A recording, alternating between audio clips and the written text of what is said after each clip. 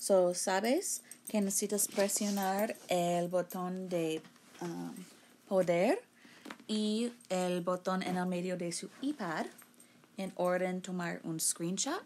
So, eh, usa estas cosas para tomar un screenshot. Voy a cambiar mi pantalla. Normalmente tienes un sonido. Después, abren su página. Elige el botón de plus. Bajo de imágenes, from photos. Porque ya tomaste un screenshot. Y voy a elegir.